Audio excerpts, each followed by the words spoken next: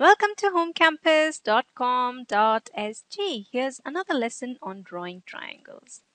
Okay, so the question is draw a triangle DEF with angle DEF that's equal to 130 degrees, angle DFE which is 20 degrees and EF which is equal to 11 centimeters. Okay, so here is how the triangle will look like roughly. Okay, so this is let's suppose the line EF that's equal to 11 centimeters. So this is E, this is F, and this is 11 centimeters. Okay, now angle DEF is equal to 130 degrees.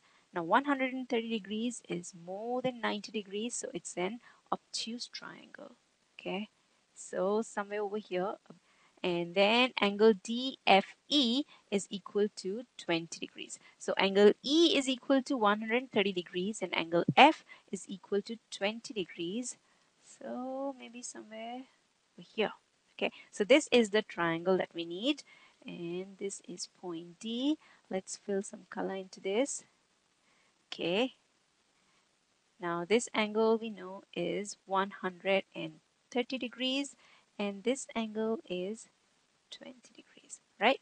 Angle DFE is 20, so DFE is 20 and DEF is 130, so DEF is 130 degrees, okay?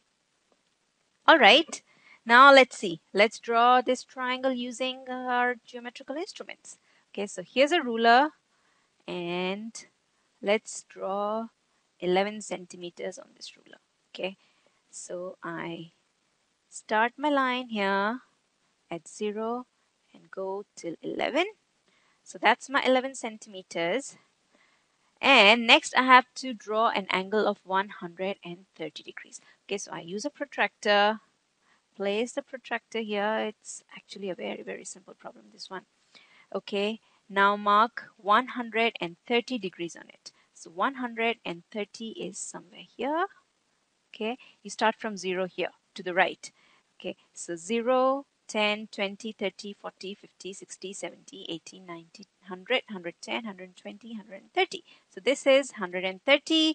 So I start at E. Actually, I forgot to label this. This is E and this is F. Okay, and this is 11 centimeters. Okay, Anyway, so I start at E and pass through 130 degrees. Okay, so that's done.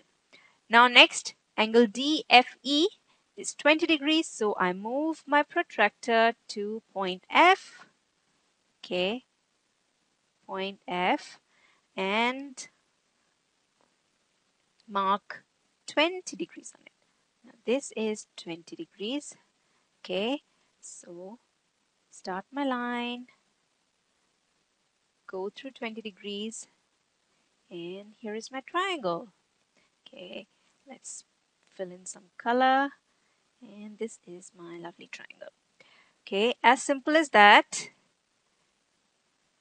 this is 130 degrees this is 20 degrees and the point where the two lines meet this is